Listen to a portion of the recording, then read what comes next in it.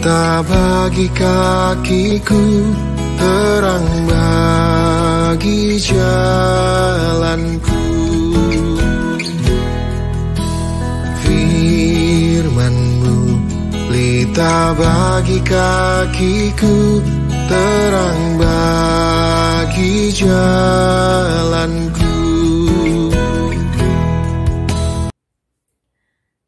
Shalom, selamat pagi dan semangat pagi. Bapak Ibu Saudara yang terkasih dalam Tuhan Yesus Kristus Apa yang menjadi doa dan harapan yang kita panjatkan pada Tuhan di pagi ini?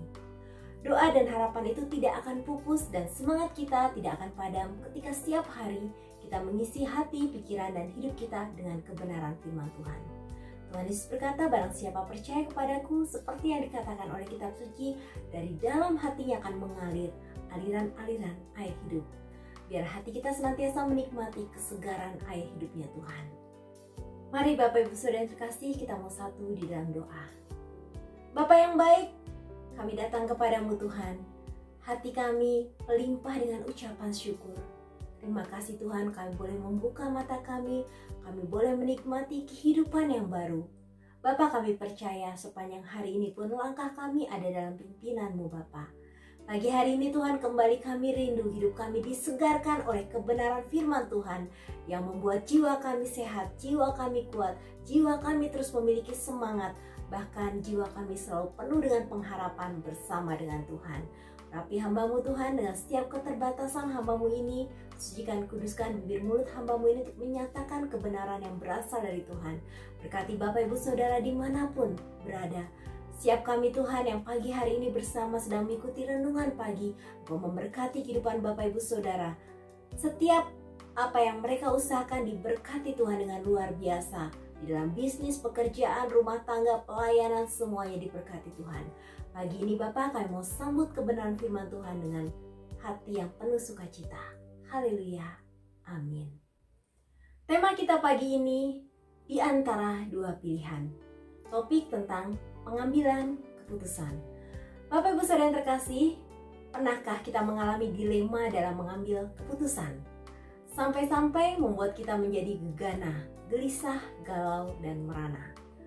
Bapak Ibu Saudara, supaya kita tidak berada di zona yang penuh dengan ketidakpastian ini dan bisa membuat kita baper, maka mari pagi ini kita renungkan firman Tuhan yang pastinya akan memberikan kita sebuah kepastian bahkan di saat kita harus berada di antara dua pilihan.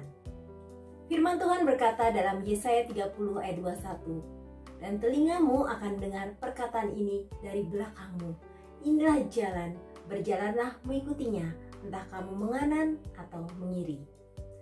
Ketika dalam perjalanan menuju suatu tempat yang kita tuju, akan tiba saatnya kita berada di persimpangan jalan.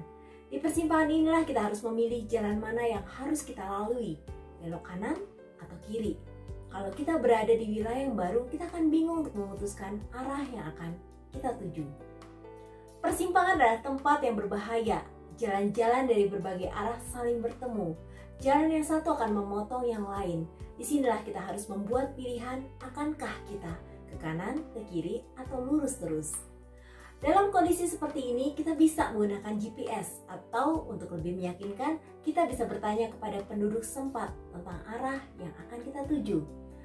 Jalan yang akan kita pilih tentunya tergantung pada tujuan yang ingin kita capai. We cannot lead a choiceless life. Every day, every moment, there is a choice. Bapak Ibu Saudara yang terkasih, kita tidak bisa menjalani kehidupan tanpa pilihan. Setiap hari, setiap saat, ada pilihan. Semua bisa memberi saran dan arahan tentang arah itu, tetapi keputusannya kembali kepada kita. Kita bisa tetap di jalur yang sama atau kita bisa belok ke kiri ataukah ke kanan. Kalaupun kita membuat kesalahan, kita bisa putar balik untuk bisa kembali di jalan yang benar. Namun konsekuensi ketika kita salah mengambil keputusan adalah Yang pertama, kita menghabiskan waktu dalam perjalanan sehingga terjadi pemborosan waktu yang tidak semestinya. Hal yang kedua, kita harus mengeluarkan uang ekstra untuk hal-hal yang tidak terduga. Hal yang ketiga, kita mengalami kelelahan. Keempat, kita tidak akan sampai di tujuan dengan tepat waktu. Yang kelima, tujuan awal yang sudah ditetapkan akan terganggu bahkan kita bisa gagal sampai di tujuan tersebut. Firman Tuhan hari ini luar biasa memberikan kita peneguhan.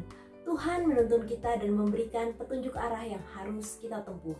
Dalam Yesaya 30 ayat 21 dikatakan, Dan telingamu akan mendengar perkataan ini dari belakangmu. Inilah jalannya. Berjalanlah mengikutinya entah kamu menganan atau mengiri. Bapak Ibu Saudara yang terkasih, GPS ataupun arahan orang di sekitar kita bisa salah.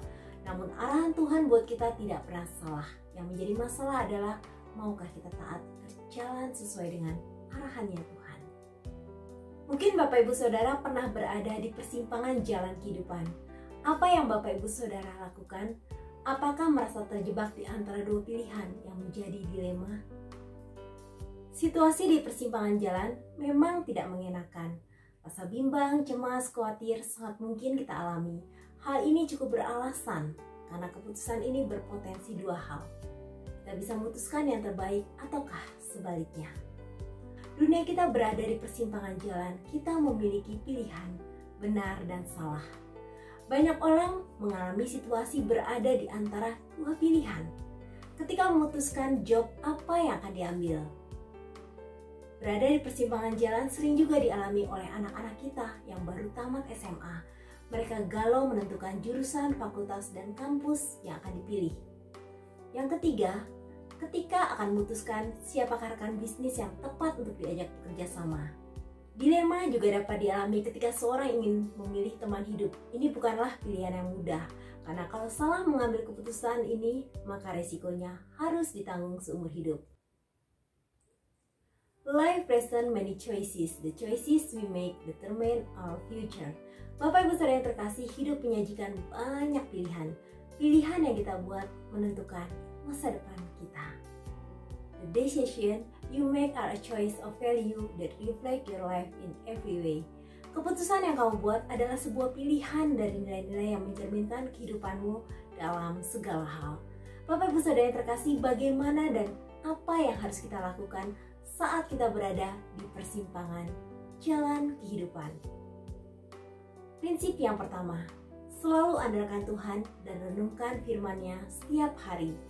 Mazmur 119 ayat 105, Firmanmu berita bagi kakiku dan terang bagi jalanku. Tuhan akan memimpin langkah demi langkah kita menuju jalan yang benar. Belajar mengikuti Tuhan itu tidak mudah. Kadang Tuhan bilang maju, kadang Tuhan menyuruh kita untuk berhenti sejenak. Saat kita gagal mendengar dan mematuhi instruksinya, maka kita menghadapi kesulitan dan ada banyak kendala yang kita alami.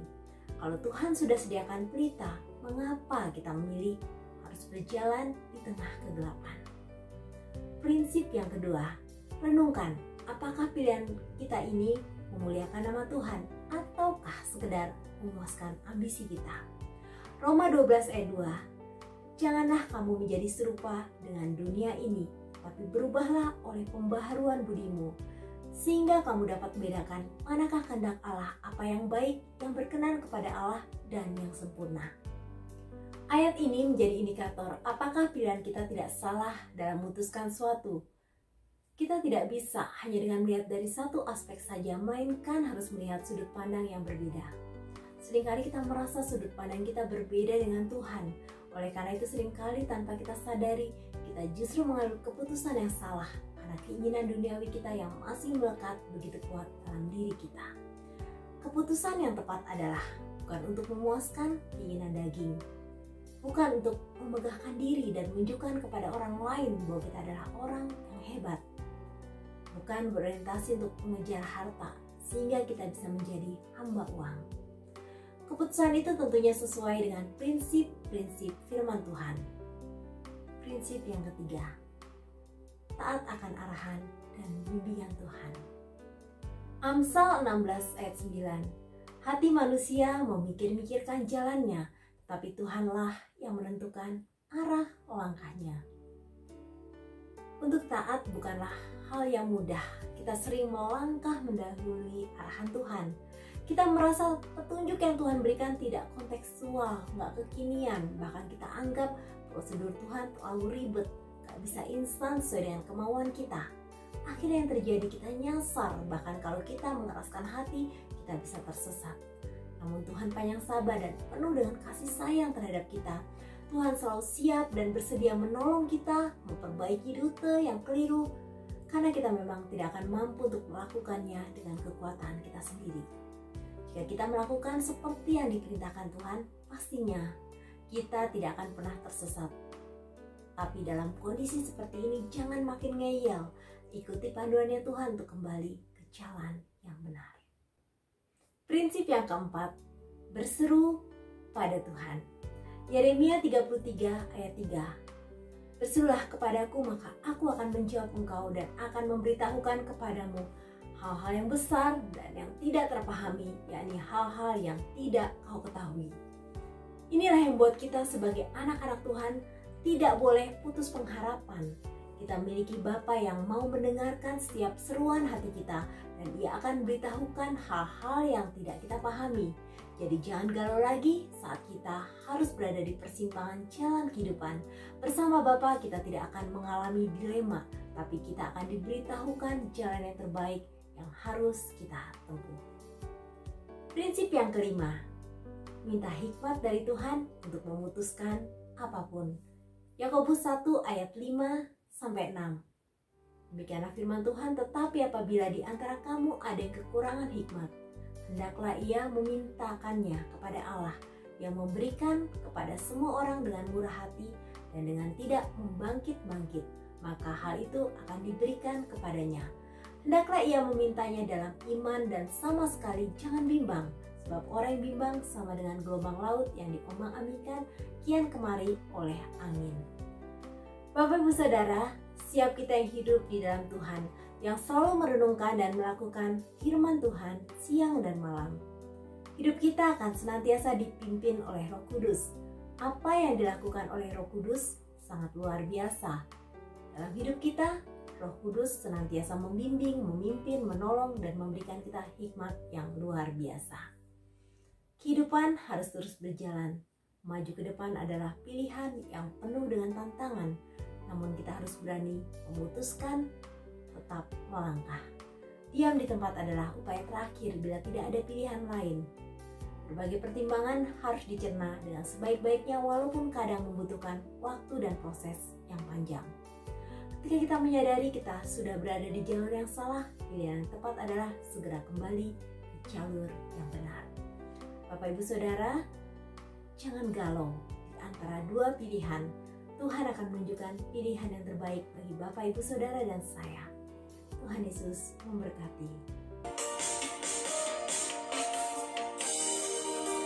Jadikan aku pelangimu yang memancarkan terang dan keindahanmu ya Bapa. Kamu serahkan kehidupan kami di dalam tanganmu untuk engkau membentuk kami sedemikian di hadapanmu.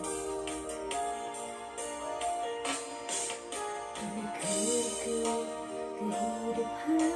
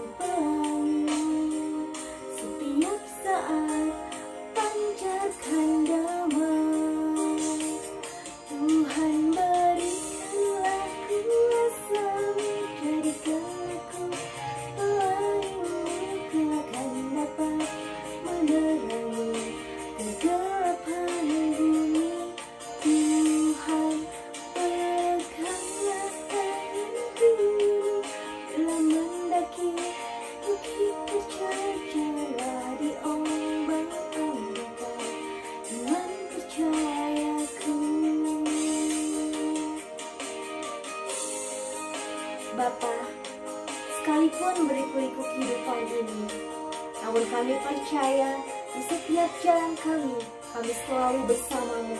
Engkau yang menuntun tangan kami, kami peneguhan, bahkan Engkau memberikan kami kemenangan. Kau membimbing kami sampai kepada tujuan yang indah. Terima kasih ya Tuhan.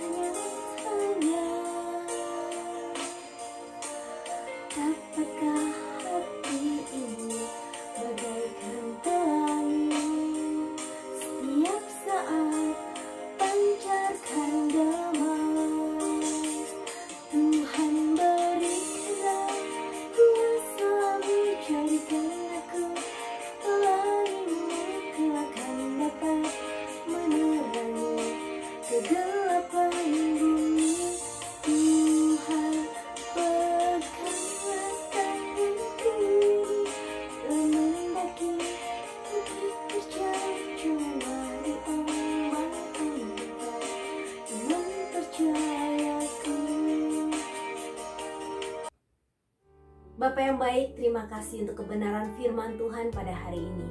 Kembali kami diteguhkan, dikuatkan, janji firman Tuhan sangat luar biasa di dalam kehidupan kami. Bapak di saat kami bimbang, di saat kami berada dalam dilema, dan kami harus memutuskan sesuatu hal. Namun kami bersyukur lewat kebenaran firman Tuhan hari ini, kami semakin diteguhkan dan dibukakan tidak ada kegalauan lagi dalam hati kami untuk menentukan pilihan-pilihan dalam hidup kami karena kami tahu Tuhanlah yang menolong kami, Tuhanlah yang memimpin kami untuk menetapkan pilihan-pilihan sesuai dengan apa yang terbaik menurut pandangan Tuhan.